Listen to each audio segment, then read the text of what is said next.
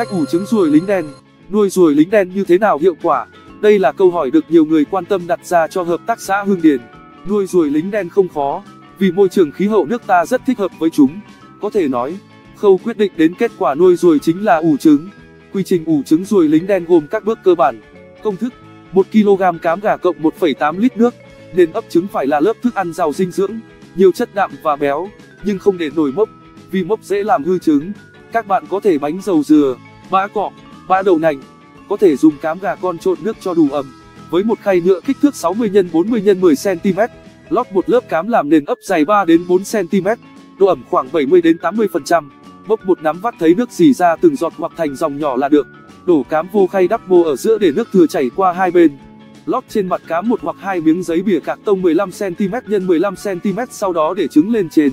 Nếu nền ấp quá nhão, các bạn lót hai miếng giấy cạc tông tránh nước thấm vào trứng một khay ấp được 10 g trứng.